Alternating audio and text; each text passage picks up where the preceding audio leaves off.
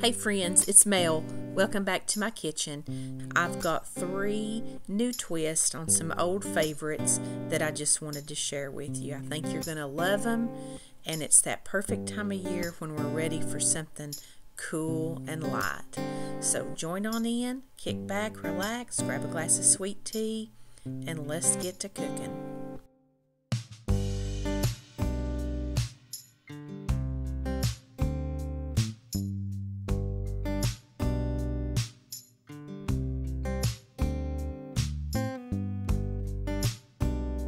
Before we get into the salads, I wanted to let you know that today's video is in collaboration with my friend Toni from Chaotic Country.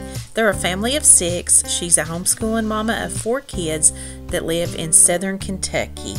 I have enjoyed getting to know Toni. She has great content. I know you're going to love her, and I'll leave her video link down in my description box. When you're done, go over and let her know in the comments that Mel sent you. So let's get right into it. The first salad we're making today is an old favorite. It's a pea salad. It just has a little bit of different twist than what I've seen before. So the first thing you're going to do is uh, get your peas all laid out to thaw. Calls for two cups of frozen peas thawed out. I was trying to be real precise here and measure them out, but I had a little bit left and, you know, I just threw them in. What am I going to do with that little handful of peas? So uh, I'll have all these recipes linked for you with exact measurements, but you know how I get with measurements sometimes. For your wet ingredients, you're going to do 3 fourths a cup of mayonnaise and then a fourth a cup of ranch dressing. And I have a couple of bottles of ranch dressing that just had a little bit left in them that I'm trying to get cleaned out of the refrigerator. So that's what I'm doing here with two bottles out. It doesn't nearly take two bottles of ranch dressing for this. You're going to get all that mixed up and incorporated. Then you're going to start uh, adding in your other ingredients that you're prepping up here. If you're coming over from Toni's, let me just take this time to say welcome to my kitchen. I hope you enjoy what you see. I like to do What's for Dinners every Sunday at 8 p.m. Introduce yourself down in the comments. I'd love to get to know you better. Feel free to subscribe and stick around for all the fun. Use about a fourth of a cup of bacon and I did go a little heavier on these items since I had a few more peas in than what the recipe called for. It's going to throw in about a half a cup of cheese. And I'm just kind of showing you here about what it looks like, how much that I've put in now.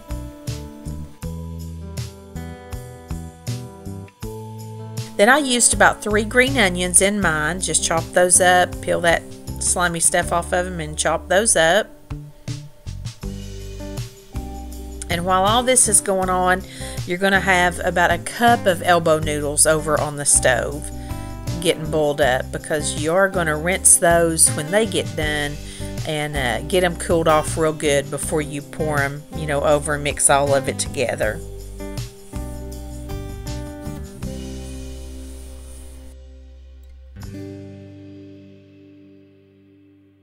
So there's my noodles coming up to a boil, and I did salt those. And this recipe was very good. I just kept thinking that it was missing something, and I couldn't quite put my finger on it. And when I watched this footage back, I realized I didn't put any additional salt and pepper in this at all.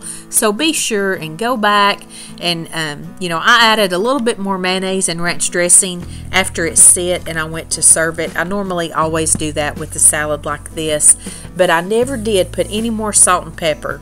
Even a little garlic powder might be good in it. But it was a delicious, delicious pea salad. We had it on Sunday dinner at my mom's here with those good ham and beans and um, potato casserole. And you'll see macaroni every Sunday dinner at my mom's because one word grandkids. They love it. So next we're going to jump right into this broccoli salad and this one is also just a little different twist. I tried to lighten this up just a little bit. Let's work on our wet ingredients first and you're going to take a half a cup of mayonnaise and then you're going to use a half a, a half of a cup of Greek yogurt.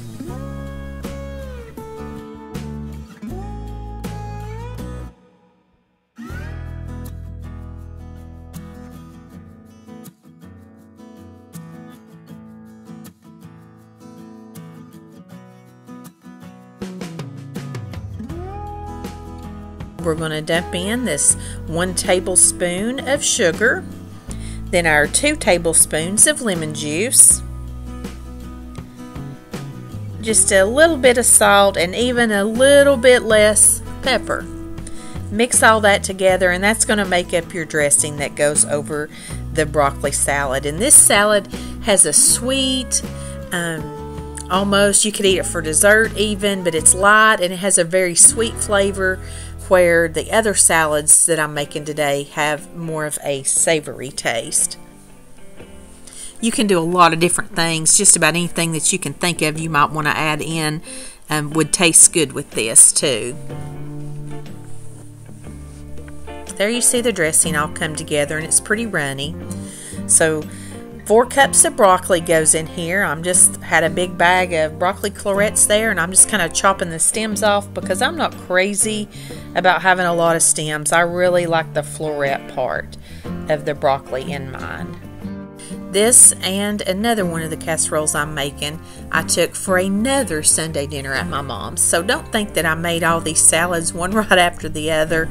Um, we just sure couldn't eat all of that much in you know that short amount of time without that going bad. But we do eat at my mom's every Sunday. She cooks a big spread, and so this was something that I could take and contribute to that too, and we enjoyed it.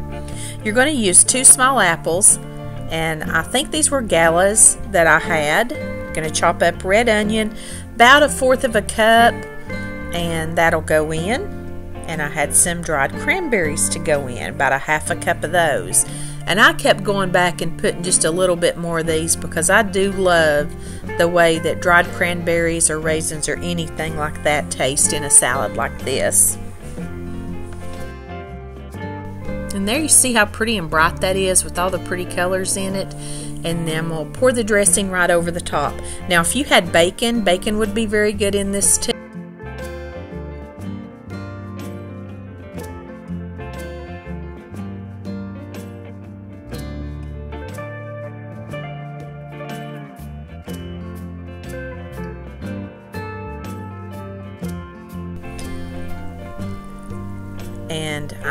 Took some out before I added in the pecans. Walnuts would be good in this, but I like pecans best of all, so I had some pecans and I took a little bit out because um, we have somebody that has a nut allergy, so got some out for them, and then I just took the rest of the um, pecans and mixed all that in. And the longer all of these salads set, just the better they taste. You know how it is when you put something together like this. Just the longer it sets, the better the flavors come together. So there's that pretty looking broccoli salad. Now let's move on to cornbread salad. I've had cornbread salad a number of times, but when I've had it, it's been very almost like a stuffing. It was more of a wet cornbread with uh, stuff mixed in. This is more like as like a layered salad, and I just love this. The recipe said to make up your cornbread, you could just do a pan of cornbread, but I got to thinking um, that Mexican cornbread would be good in this. And you could substitute other ingredients in here if you wanted this more spicy. This is a recipe that's very customizable. Now you have a ton of prep to get ready for this salad. It's not hard, but there's just so many good fresh ingredients. You just got to wash them and cut them up. I had a bunch of romaine lettuce, and then I'm to chop up some green onion to go in it.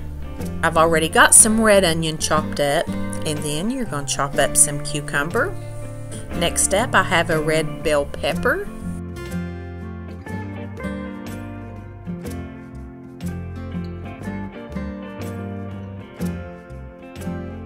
You can see there's also some canned and bottled dressings that are going to go with this. So we have our fresh ingredients prepped and now we're ready to put this thing together.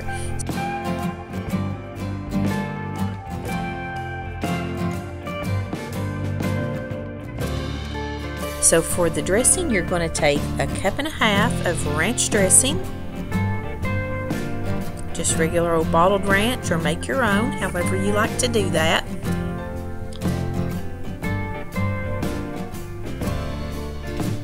And then you're going to take a half a cup of your favorite barbecue sauce and you're just going to mix those two together.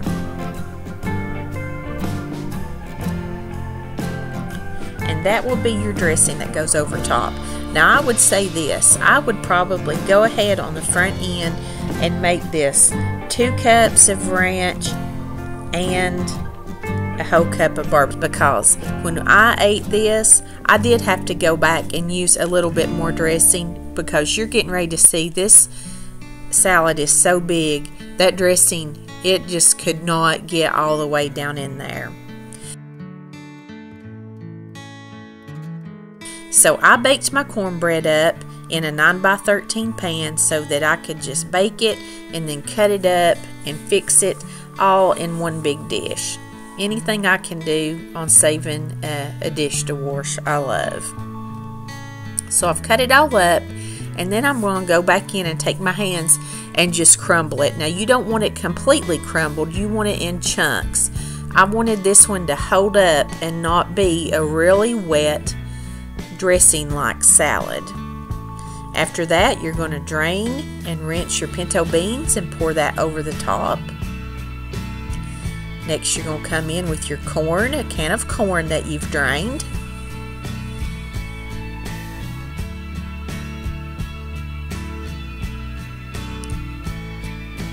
You just want to spread everything out the best that you can. Then you're going to layer your cucumbers.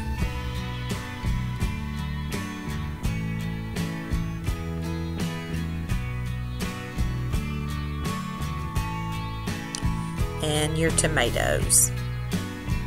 And I did use a can of tomato. I've told y'all that before here that I am not good at chopping up and dicing tomatoes. So I'll get them in the can and you just need to rinse them real good if you use that. And then here comes the red bell peppers.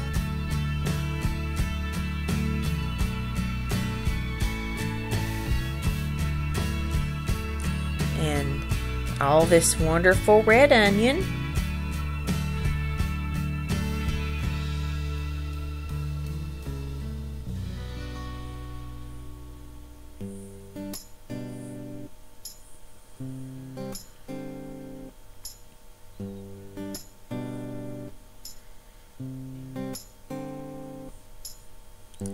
Then you're going to pour that dressing all over the top and you just want to distribute that as best as you can.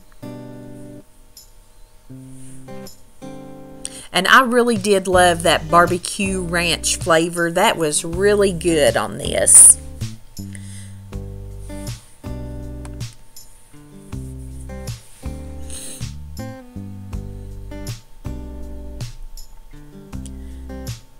Now you're going to take all that pretty green romaine lettuce that you've chopped and washed up, put that all over the top, and the recipe said you're probably going to have to press down here.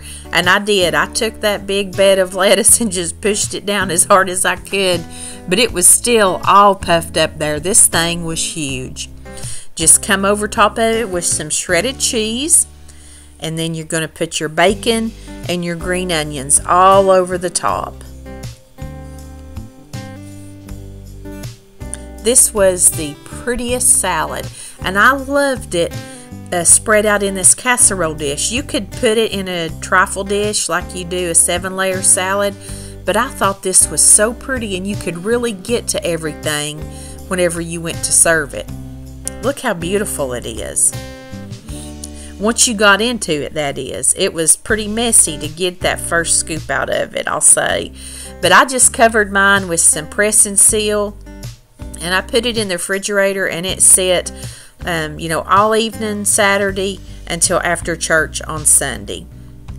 And here I show you getting it all served up. I was again filming my mom serving it, and look when that comes out, you can just see everything that was in there good bacon, corn, beans, red onion, green onions, uh, lettuce, cornbread. It's all in there and it was so, so good.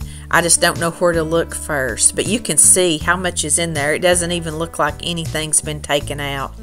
So here it was. I had the um, cornbread salad, and there's a good picture of the pretty broccoli apple salad. There's grandkids macaroni, and we had a yummy pot roast that day. It was delicious. And don't forget about the pea salad. That was wonderful. We enjoyed that as well. Guys, I hope this gives you some ideas for some things to make this summer. Don't forget to go over and see Toni. Tell her I sent you. And until I see you Sunday night, 8 p.m., What's for Dinner? I send you love from my kitchen.